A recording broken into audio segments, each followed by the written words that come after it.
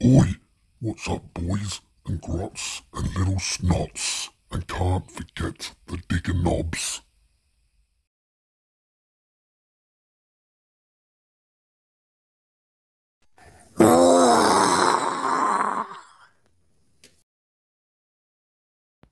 So this is a painting tutorial I made for painting Makari, the new model. So I start off with Elysian Green as a base coat to go over all the green areas. Now I wanted the grots to be a bit more light skinned than the orcs that I've done. So I've done Ghazghkull and I used a darker base coat for him. So I'm using Elysian Green here just to give the grots a little bit more of a bright skin tone. So this is a really nice colour to use. Obviously you need a lighter primer so it's going to be easier to apply. You could most likely do it over a darker one but you're going to have to do a lot more coats. Now I do have a watered down paint here just so I can do a couple of coats and not have it too chunky or thick as the base coat. Now he's got a lot of flesh exposed. He's a really small miniature, so just make sure you get that paintbrush all into those little gaps. So make sure you get in all those nooks and crannies. As I say, he's a really small miniature. He might not look it on camera, but he's tiny.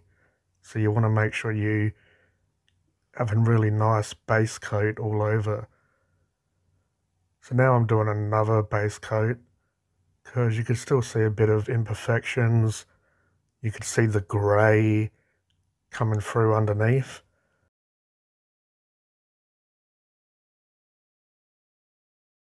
So a second coat would be really good to apply.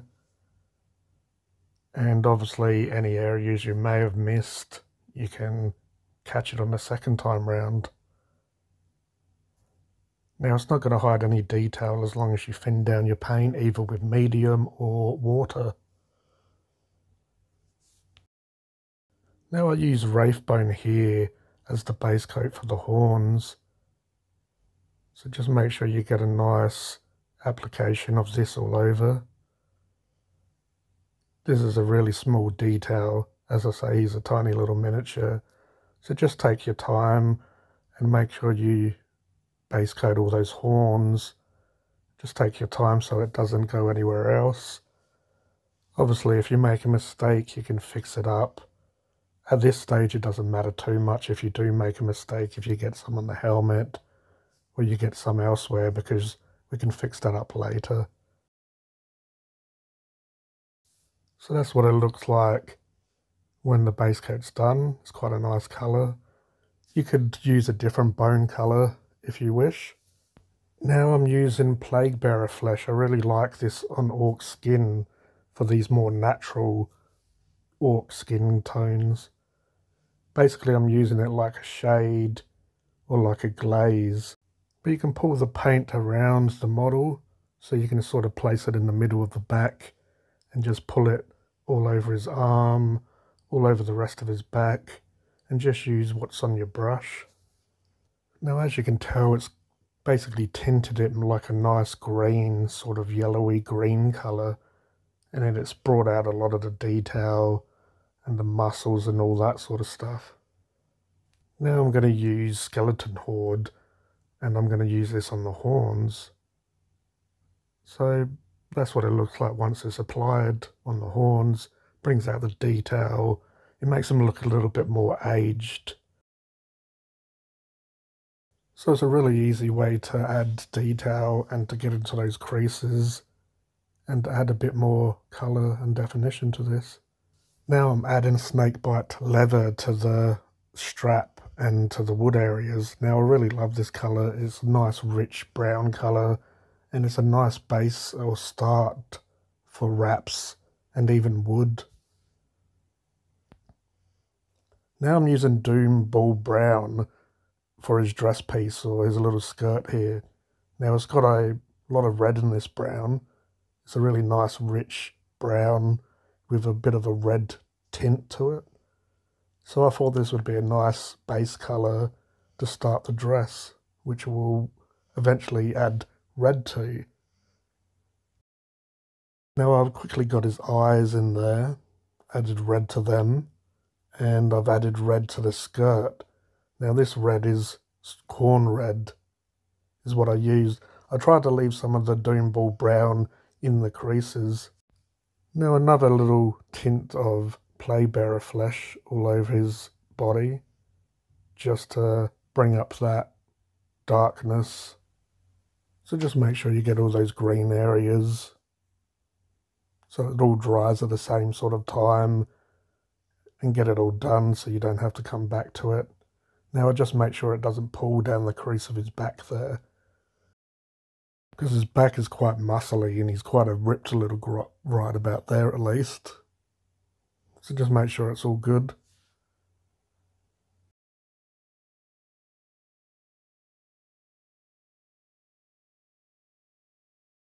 Now we're going to use lead belcher. I love this paint.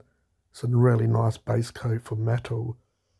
So just go around his crown or his hat here. Just make sure if you can, try your best not to get it because you don't want metal flakes all over the place. So just take your time, get a small brush. I change my brush size. Now once you've done the silver areas, you want to hit it with some Nuln Oil you want to darken that up and really bring it out. Add some shadow. Just don't overload your brush too much. I took a little bit off here, wiped it on my finger, or you can do it on a paper towel. Now everything on my brush here is all I need really. Not going to need any more. Just want to apply it to those areas you want darkest. Then we're going to start doing this little furry area of his hat. Khorne red as a nice base coat. It's a nice dark rich red. So that's what it looks like once you put on the Khorne red. Now back to Elysian green.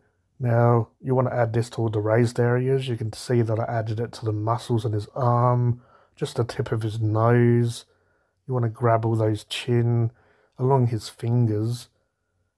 You just want to make all the muscles stand out. So I'm going to put a bit on his back here as well. Make sure that it's not applied too chunky because you don't want to hide all that detail. As it dries, it will blend in a lot more. It might look a little bit odd at first, but once that paint dries, it always blends in more and not isn't as bright. Now we're going to do that again, but with Ogryn camo. Now we're going to try and do a little less, a little bit on his nose, a little bit on his muscles here, just a little bit there. So as it dries again, it's going to blend in with the Elysian green more. So you want to try and pick out each finger here. As I say, it looks a little bit bright now, but once it dries, it will all blend in more and it will have nice highlights. That you just want to bring out all those details like his fingers, the ribs, as you can tell, just under his arm there, a bit of his tummy. You want to bring out some of his knee, so the knee separating a bit of shadow in between, the fingertips, his cheek, his ears. Along his back there, I added some little bit of his muscle on the back of his leg there.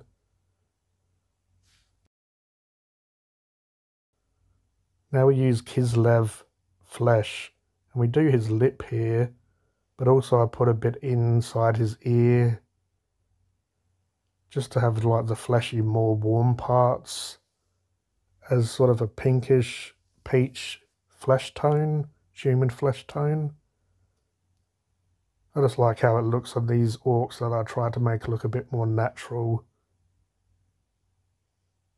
So his lips are done, his ear, and it blends in really nice with these earthy, natural green tones.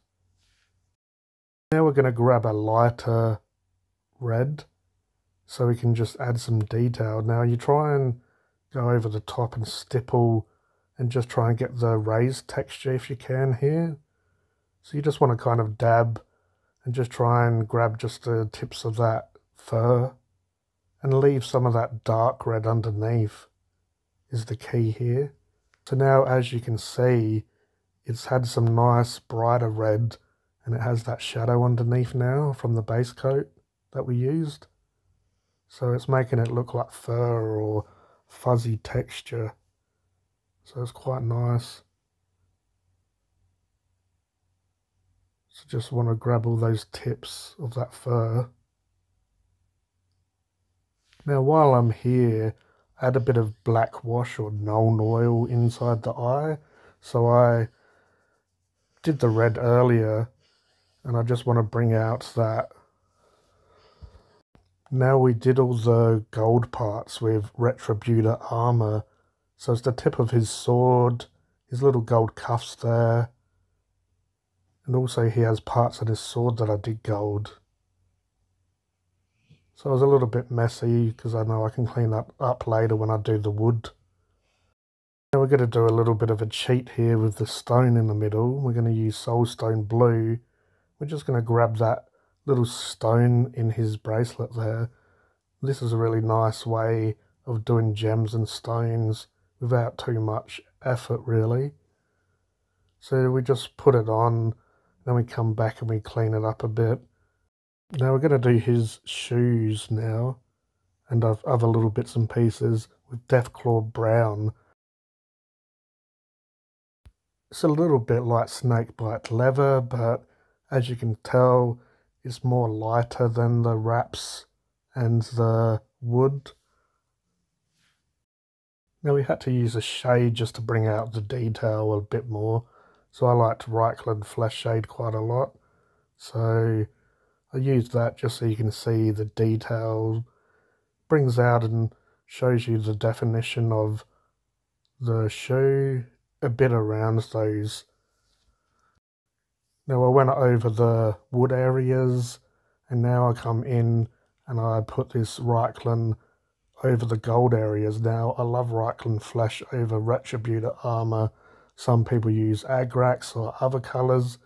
I feel these are a match made in heaven just really makes that gold rich. So you can see now the little buckle, the earrings, the gold on his sword, it really pops and adds some shadow. Now we're going to use Evil Sun Scarlet on the skirt piece. Now I tried to make it look all worn. So what I did is I highlighted the edges and then I brought the brush up and down and in directions just to add all these little tears or texture to the skirt. Now another paint I really love is this Vallejo Air Chrome. Now you don't need very much. You just want to add it to the most sharpest areas or the highlighted areas. So we go around this spike, it just really makes it look like it's sharp. So you can tell by these pictures that Makari's finished. Now, I will show you him again towards the end of this video, but that's pretty much Makari finished now. Now I'm going to give you a quick demonstration of what I've done to the banner. Now, Troll Slayer Orange, personally, I'd probably say use a better orange if you can, because this one took a few thin coats to get to this stage or to get it to how I wanted it. So I'm sure there's other oranges out. This is the only one I had. It is a nice colour, but it's more of a layer paint, so it would have been better if I had a more solid colour to start with and put this more of a highlight colour. But what I do is really have this thin down and just build it up. So I do all the horns orange, which are going to be red eventually. So Kislev Flesh. So I'm going with the second edition theme. And it had a fleshy part here. But I just thought instead of doing a typical bone, I'll make it a bit more fleshy. Now we're going to use Zandri dust for the bone areas. Now obviously this big bone here is going to be Zandri dust. Because we want a darkish colour that we can build up with some highlights later on. And these teeth here. So we're going to do all of them as well.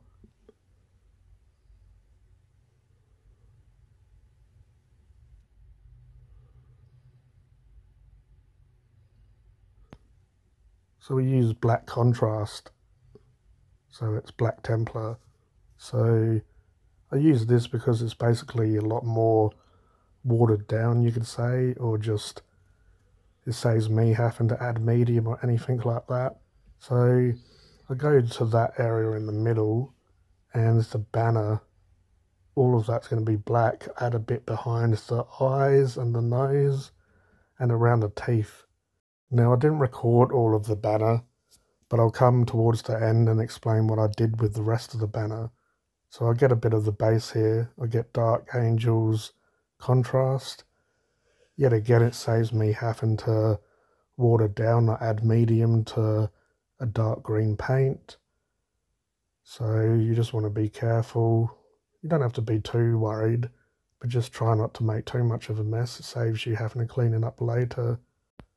Now I added a bit of red to his eyes. This little poor bugger's eyes added a few highlights that you can't really see that well on camera but I went round the crisp edges with a green paint and added a bit of highlight.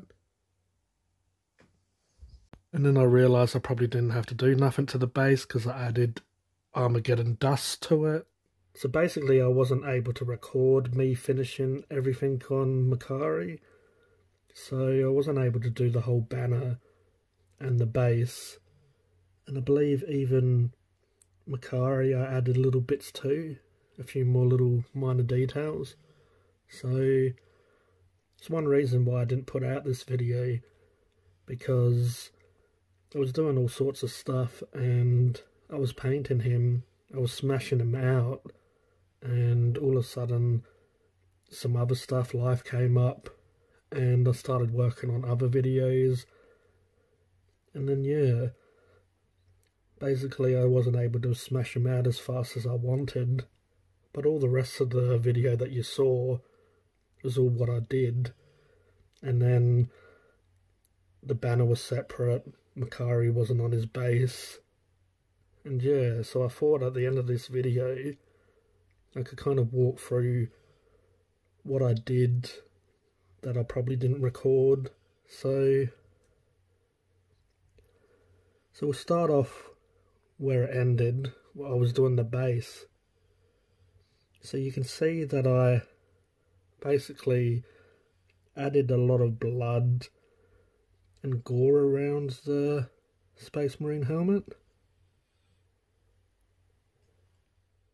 Originally added Khorne red to the eye and then eventually I built it up similar to similar to the red that I did on other parts of Makari. So I did Khorne red and then Mephiston. And I put just a little dot of Troll Slayer orange. And then I put it for a little bit of a reflection, put that little bit of white now I added Kislev flesh or flesh colours to the inside of the exposed part of the head to make it look like a brain or the top of the human that's inside the helmet.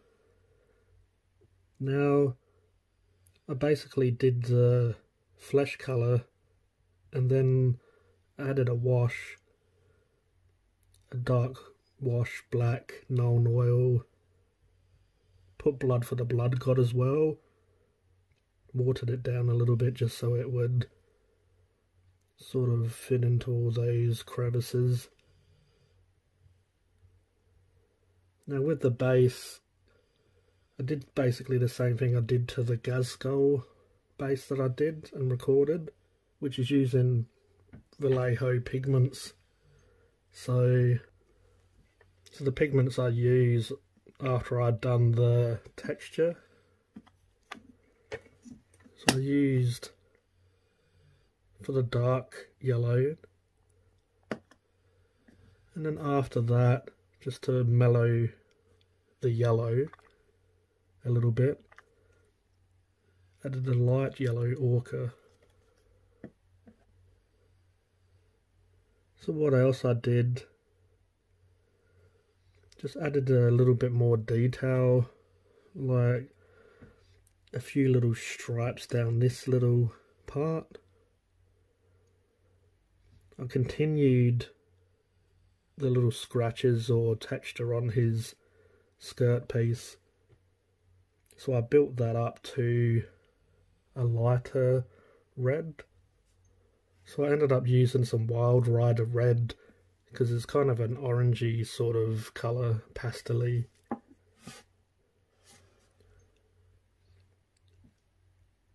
So you can see I tried to make it look like it was a bit more torn and stuff by adding those parts to it. Now I'll quickly go over the banner. So I did the flash colours, added watered down reds to this. Normally I use some contrast. So Blood Angels red for the deeper parts. And then I would have used Wild Rider or Evil Sun Scarlet watered down to get rid of some of that orange. Now on the black I obviously put some greys mixed with black just to edge highlight, add a bit of texture to the cloth. So all those orange colours, I basically worked it up to a red. The flesh colour ended up putting like Nuln oil more so directing it towards the little rivets just to make it look like it's got a lot of decay or weathering and all that sort of stuff around it. Added some silver to the little earring parts.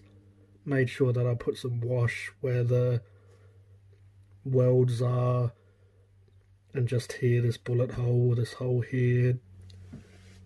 I added a wash would have been Agrax to the bone area and then came back with like a lighter skeleton colour, something like a shanty bone to sort of edge highlight or just add little bits around the edges of that. Obviously I put weathering pigment all over this just to make it look like he's really been in the trenches. Around the teeth I've put obviously Agrax, but a bit of Nuln oil as well. Little just highlights as well there. Highlighted a bit of grey on this area, this backing plate there. Yeah, that was pretty much it. Unfortunately, I wasn't able to record it, but hopefully that helps. Added a bit more of browns to this just to bring out that wood grain a little bit more. So I've added a couple of brown colours. Which would have been some of the snakebite leather, but also just a little highlights of Deathclaw and Skrag Brown.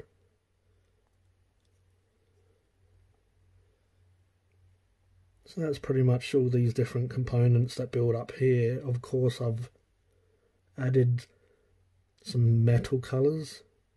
So it'd be your Leadbelcher, and then the more bright colours. So just more so the tips. Just all these rivets here. Just a little dab of that Vallejo chrome that I love. Just like this. That was lead belcher but then just a little bit of chrome on top just to bring out the highlight. So that's pretty much most of it. Obviously added these transfers, so little things like I did the teeth. So that's like a Zandri dust base with just little tips of white just at the sharpest point. So yeah, not quite sure how I want to do my orcs, their bases. So I kind of stuck to the second edition theme that I had. That's why I did this like more of a fleshy colour than a bone colour because that's how his original banner was. So I tried to make his banner look like the second edition one. And this is based on the cover. He I didn't really like the helmet or the head that he was standing on. The this model comes with a helmet that he puts his foot on. But just to keep it the same sort of theme as that second edition cover, thought why not stick a Dark Angels helmet there? It's pretty much how the cover is. So yeah. I thought that looked a lot better having a Space Marine helmet there. I think it was an Imperial Guard one originally. But yeah, I believe that's pretty much it all now, really. He's a tiny little model. Uh, and I used, I'd say it was a snake bite. Well, I believe originally it was skeleton horde and snake bite just to do with these little liver spots or just add a bit more definition to him. So as you can see, it picked out stuff like the rib cage. Here was a, as I mentioned, a couple of different highlights. So you know you've got like your skrag brown, and then I believe on just a, just a few little tips, added a white or a bone color just to really bring out those strands. Did the same to his boot here. Obviously I built it up with layers and added washers to it.